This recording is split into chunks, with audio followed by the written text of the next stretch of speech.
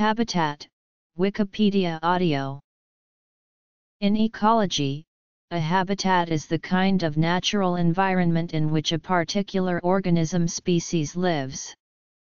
It is characterized by both physical and biological features. A species habitat is those places where it can find food, shelter, protection, and mates for reproduction. The physical factors are for example soil, moisture, range of temperature, and light intensity as well as biotic factors such as the availability of food and the presence or absence of predators. Every organism has certain habitat needs for the conditions in which it will thrive but some are tolerant of wide variations while others are very specific in their requirements. A habitat is not necessarily a geographical area, it can be the interior of a stem, a rotten log, a rock, or a clump of moss, and for a parasitic organism it is the body of its host, part of the host's body such as the digestive tract, or a single cell within the host's body. Habitat types include polar, temperate, subtropical, and tropical. The terrestrial vegetation type may be forest, steppe, grassland, semi-arid, or desert. Freshwater habitats include marshes, streams, rivers, lakes, ponds, and estuaries, and marine habitats include salt marshes, the coast, the intertidal zone, reefs, bays, the open sea, the seabed, deep water, and submarine vents. Definition and etymology Habitats change over time. This may be due to a violent event such as the eruption of a volcano, an earthquake, a tsunami, a wildfire, or a change in oceanic currents, or the change may be more gradual over millennia with alterations in the climate, as ice sheets and glaciers advance and retreat, and as different weather patterns bring changes of precipitation and solar radiation. Other changes come as a direct result of human activities, deforestation, the plowing of ancient grasslands, the diversion and damming of rivers, the draining of marshland and the dredging of the seabed. The introduction of alien species can have a devastating effect on native wildlife, through increased predation, through competition for resources or through the introduction of pests and diseases to which the native species have no immunity.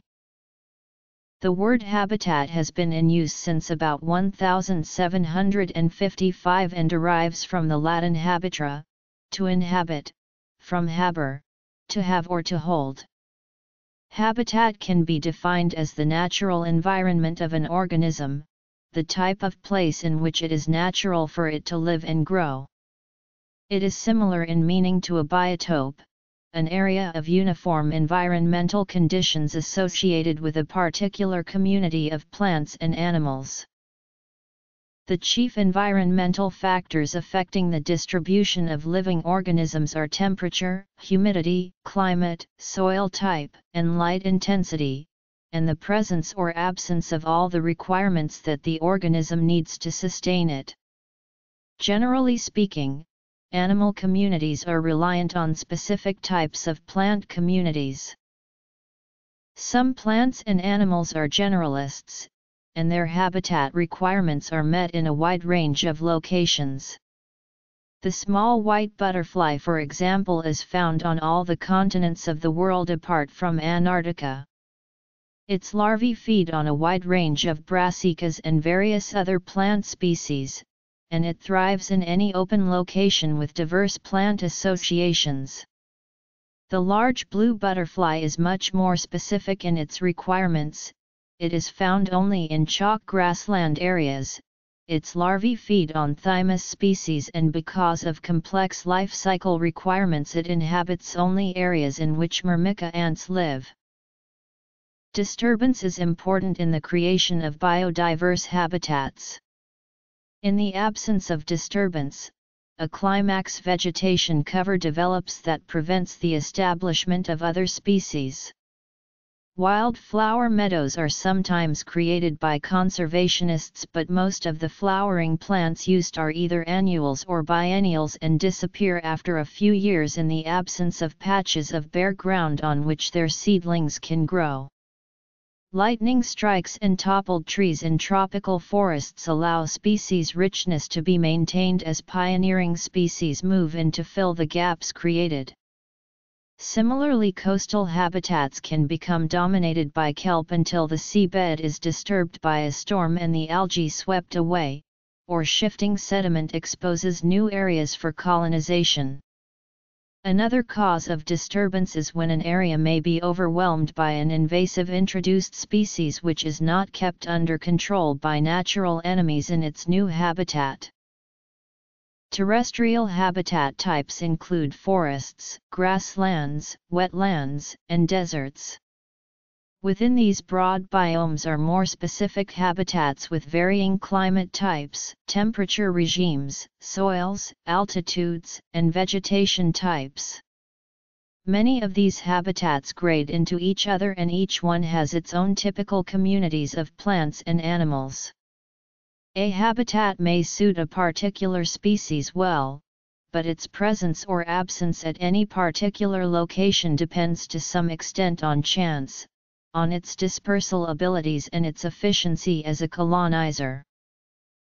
Freshwater habitats include rivers, streams, lakes, ponds, marshes, and bogs. Although some organisms are found across most of these habitats, the majority have more specific requirements. The water velocity, its temperature, and oxygen saturation are important factors, but in river systems, there are fast and slow sections, pools, bayous, and backwaters which provide a range of habitats. Similarly, aquatic plants can be floating, semi-submerged, submerged or grow in permanently or temporarily saturated soils besides bodies of water. Marginal plants provide important habitat for both invertebrates and vertebrates, and submerged plants provide oxygenation of the water, absorb nutrients, and play a part in the reduction of pollution.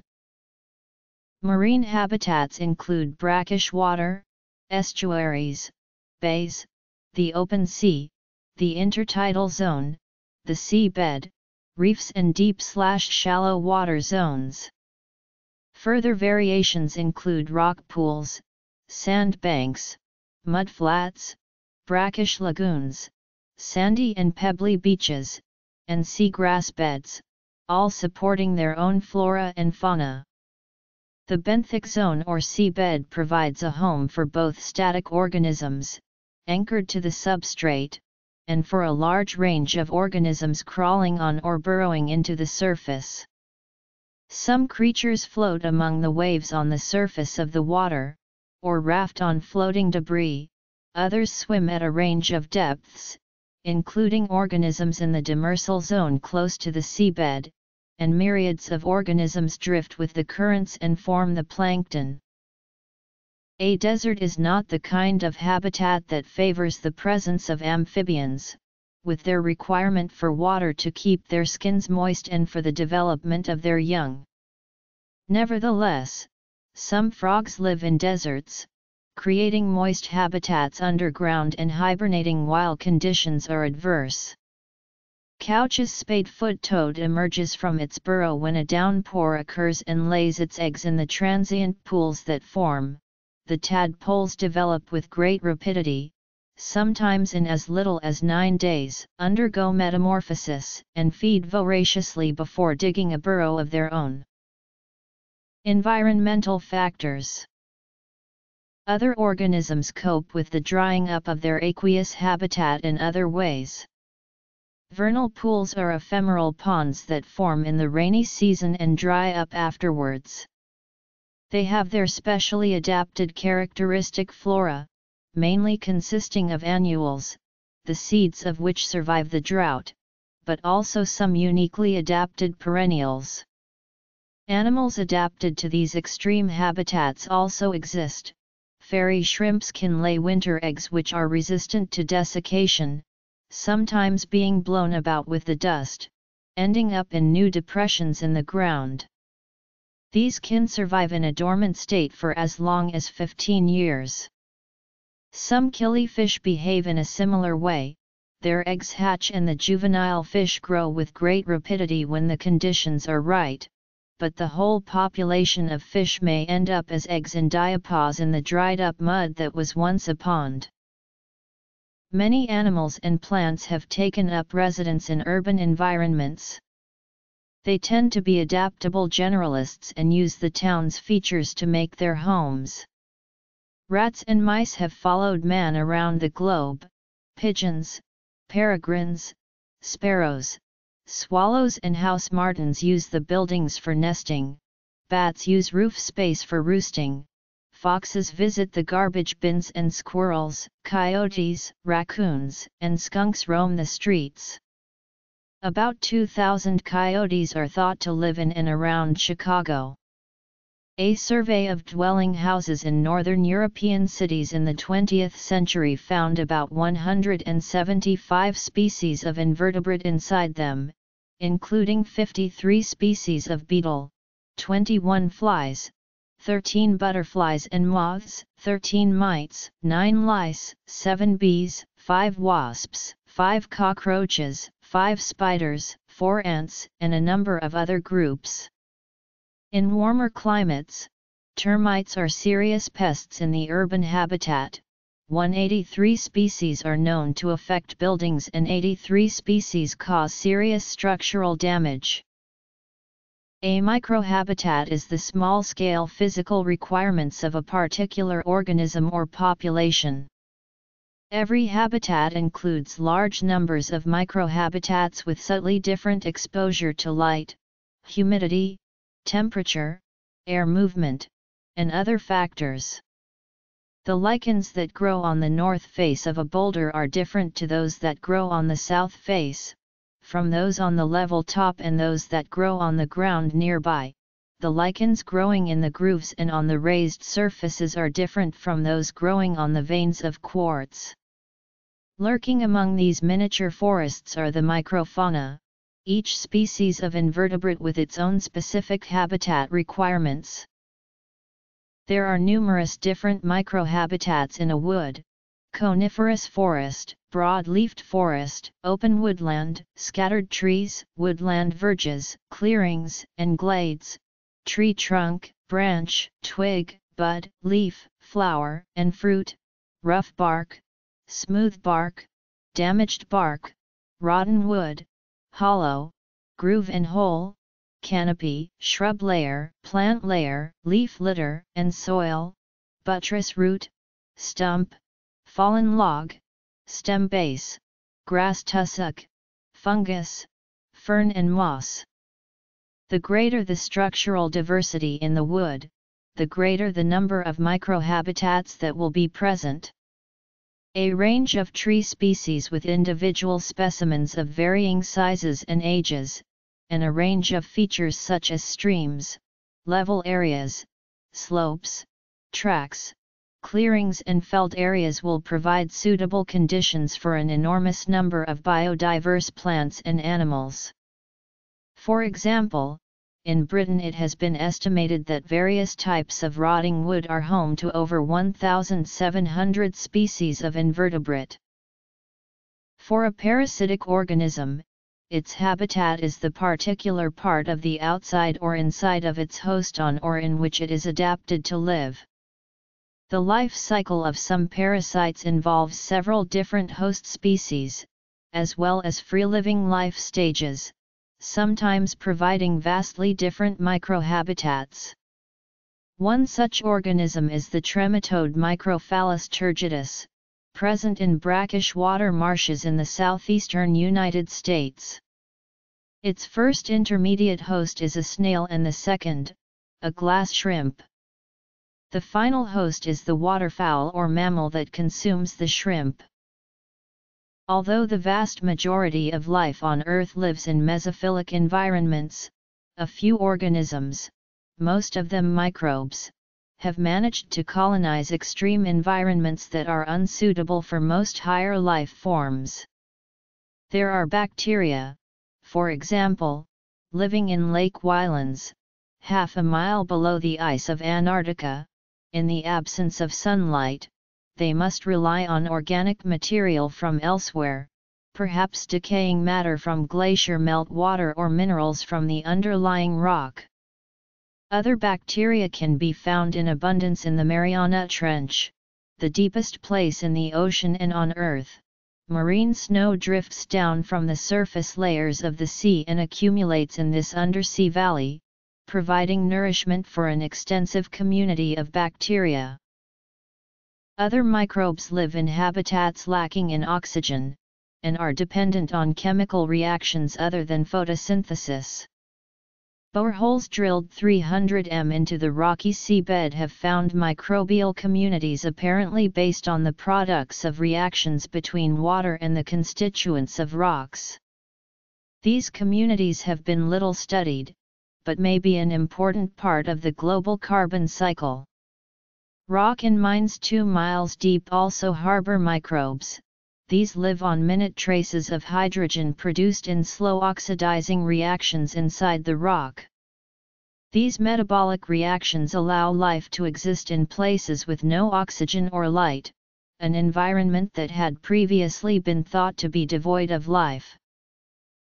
Types Microhabitats The intertidal zone and the photic zone in the oceans are relatively familiar habitats. However the vast bulk of the ocean is unhospitable to air-breathing humans, with scuba divers limited to the upper 50 m or so. The lower limit for photosynthesis is 100 to 200 m and below that depth the prevailing conditions include total darkness, high pressure, little oxygen, scarce food resources and extreme cold. This habitat is very challenging to research, and as well as being little studied, it is vast, with 79% of the Earth's biosphere being at depths greater than 1000 m. With no plant life, the animals in this zone are either detritivores, reliant on food drifting down from surface layers, or they are predators, feeding on each other. Some organisms are pelagic, swimming or drifting in mid-ocean, while others are benthic, living on or near the seabed. Their growth rates and metabolisms tend to be slow, their eyes may be very large to detect what little illumination there is, or they may be blind and rely on other sensory inputs. A number of deep-sea creatures are bioluminescent, this serves a variety of functions including predation, protection, and social recognition.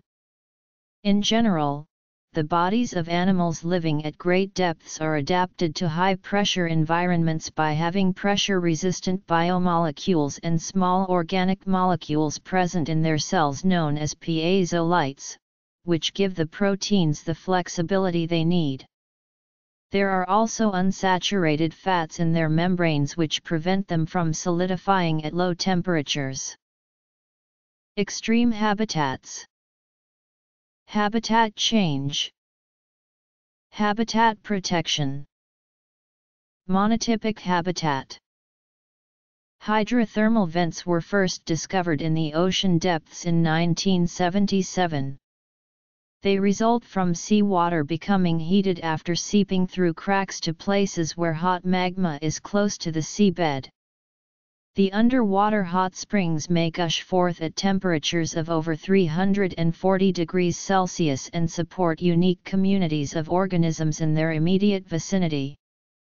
The basis for this teeming life is chemosynthesis, a process by which microbes convert such substances as hydrogen sulfide or ammonia into organic molecules. These bacteria and archaea are the primary producers in these ecosystems and support a diverse array of life. About 350 species of organism, dominated by mollusks, polychaete worms, and crustaceans, had been discovered around hydrothermal vents by the end of the 20th century, most of them being new to science and endemic to these habitats. Besides providing locomotion opportunities for winged animals and a conduit for the dispersal of pollen grains, spores, and seeds, the atmosphere can be considered to be a habitat in its own right. There are metabolically active microbes present that actively reproduce and spend their whole existence airborne, with hundreds of thousands of individual organisms estimated to be present in a cubic meter of air. The airborne microbial community may be as diverse as that found in soil or other terrestrial environments, however these organisms are not evenly distributed, their densities varying spatially with altitude and environmental conditions. Aerobiology has been little studied, but there is evidence of nitrogen fixation in clouds, and less clear evidence of carbon cycling, both facilitated by microbial activity.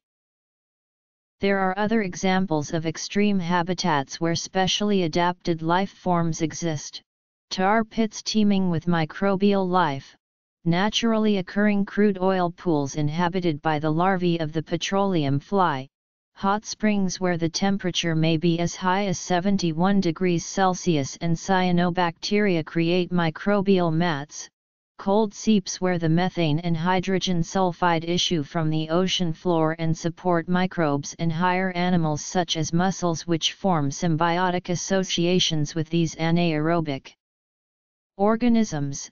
Salt pans harbor salt-tolerant microorganisms and also Wallemia ichthyophaga, a Basidiomycotous fungus, ice sheets in Antarctica which support fungi Thelebolus species, and snowfields on which algae grow. Notes and references Whether from natural processes or the activities of man, landscapes and their associated habitats change over time. There are the slow geomorphological changes associated with the geologic processes that cause tectonic uplift and subsidence, and the more rapid changes associated with earthquakes, landslides, storms, flooding, wildfires, coastal erosion, deforestation and changes in land use. Then there are the changes in habitats brought on by alterations in farming practices, tourism, pollution, fragmentation, and climate change. Loss of habitat is the single greatest threat to any species. If an island on which an endemic organism lives becomes uninhabitable for some reason, the species will become extinct. Any type of habitat surrounded by a different habitat is in a similar situation to an island.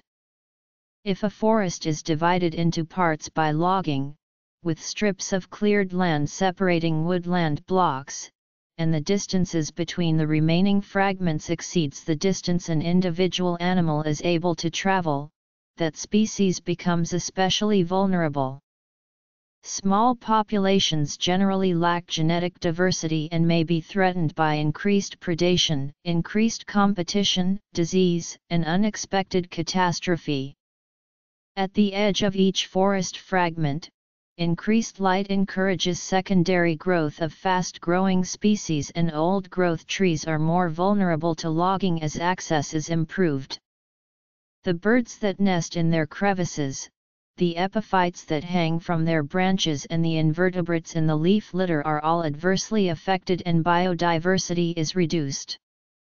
Habitat fragmentation can be ameliorated to some extent by the provision of wildlife corridors connecting the fragments. These can be a river, ditch, strip of trees, hedgerow, or even an underpass to a highway.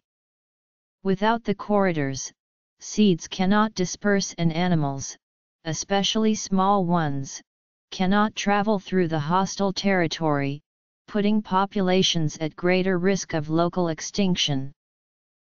Habitat disturbance can have long-lasting effects on the environment. Bromus tectorum is a vigorous grass from Europe which has been introduced to the United States where it has become invasive. It is highly adapted to fire, producing large amounts of flammable detritus and increasing the frequency and intensity of wildfires. In areas where it has become established, it has altered the local fire regimen to such an extent that native plants cannot survive the frequent fires, allowing it to become even more dominant. A marine example is when sea urchin populations explode in coastal waters and destroy all the macroalgae present. What was previously a kelp forest becomes an urchin barren that may last for years and this can have a profound effect on the food chain. Removal of the sea urchins, by disease for example, can result in the seaweed returning, with an overabundance of fast-growing kelp. The protection of habitats is a necessary step in the maintenance of biodiversity because if habitat destruction occurs, the animals and plants reliant on that habitat suffer. Many countries have enacted legislation to protect their wildlife. This may take the form of the setting up of national parks, forest reserves, and wildlife reserves, or it may restrict the activities of humans with the objective of benefiting wildlife. The laws may be designed to protect a particular species or group of species, or the legislation may prohibit such activities as the collecting of bird eggs, the hunting of animals or the removal of plants. A general law on the protection of habitats may be more difficult to implement than a site-specific requirement. A concept introduced in the United States in 1973 involves protecting the critical habitat of endangered species, and a similar concept has been incorporated into some Australian legislation. International treaties may be necessary for such objectives as the setting up of marine reserves. Another international agreement, the Convention on the Conservation of Migratory Species of Wild Animals, protects animals that migrate across the globe and need protection in more than one country. However, the protection of habitats needs to take into account the needs of the local residents for food, fuel, and other resources.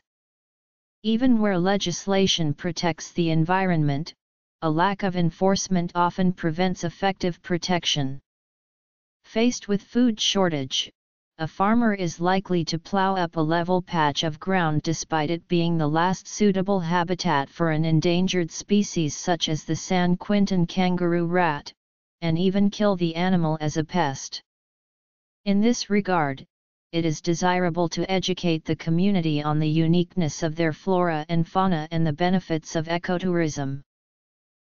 A monotypic habitat is one in which a single species of animal or plant is so dominant as to virtually exclude all other species.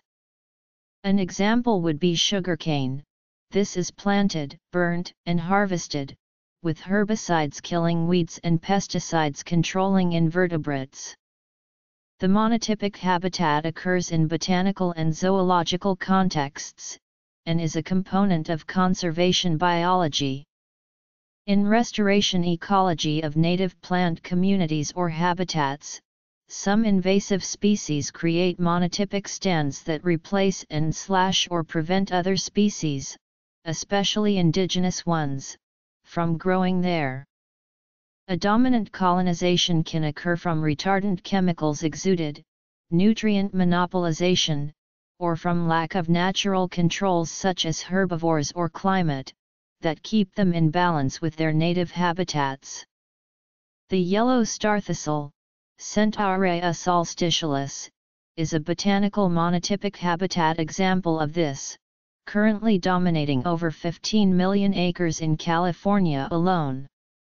The non-native freshwater zebra mussel, Dreissena polymorpha, that colonizes areas of the Great Lakes and the Mississippi River watershed, is a zoological monotypic habitat example, the predators that control it in its home range in Russia are absent and it proliferates abundantly. Even though its name may seem to imply simplicity as compared with polytypic habitats, the monotypic habitat can be complex.